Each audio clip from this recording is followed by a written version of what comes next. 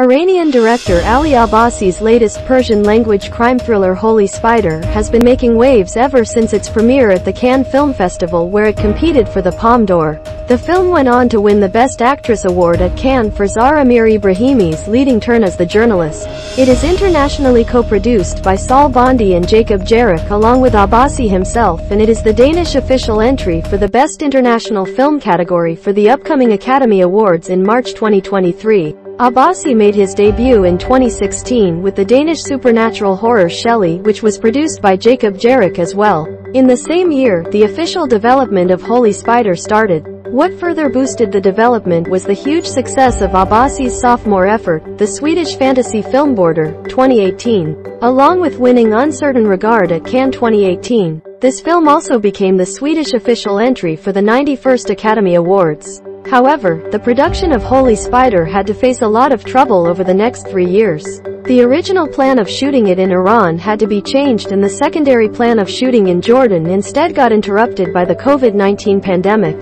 The production eventually moved to Turkey because of minimal COVID restrictions, but that was stalled by the Turkish authorities thanks to the interference of the Iranian government as quoted by Abbasi. The film was eventually shot in Jordan over a course of 35 days in May 2021. Iranian actor Mehdi Bajestani, mostly known for his work in theater was cast as the titular serial killer. Zar Amir-Ebrahimi, who was originally working as a casting director for the film was cast as the journalist after another actor dropped out of the same role. Given she ended up winning the Best Actress at Cannes, the other actress dropping out turned out to be a happy accident after all. Other important cast members include Arash Ashtiani, Foruzan Jamshidnejad and Nima Akbarpour. What is the controversy surrounding the movie? Ever since the film started to make noise, it has been riddled with controversies. Ebrahim Irajzad, another Iranian director who made the film Killer Spider, 2020, on a similar subject matter accused Abbasi of plagiarism. The biggest controversy came in the form of disapproval by the Iranian government, which labeled the film insulting and politically motivated. In fact, people staying inside Iran are going to be subjected to punishment if they're found involved with this film in any way.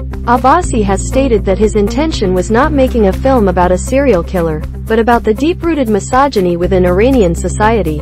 Despite all the controversies and roadblocks, the film stands at a comfortable 83% critic score on Rotten Tomatoes based on 58 reviews and 74 out of 109 at Metacritic based on 17 reviews, which speaks volumes for it. Where to watch and stream Holy Spider online. After the Cannes premiere, the North American right to the film was acquired by Utopia, an American distribution company that is all set to release it across U.S. theaters on the 28th of October 2022 in a limited capacity. As for the rest of the world, it is still unclear where it will be available to stream. The best bet is probably video on demand unless another OTT platform emerges as a savior. Keep an eye on this space as we will update details as soon as it becomes accessible to us.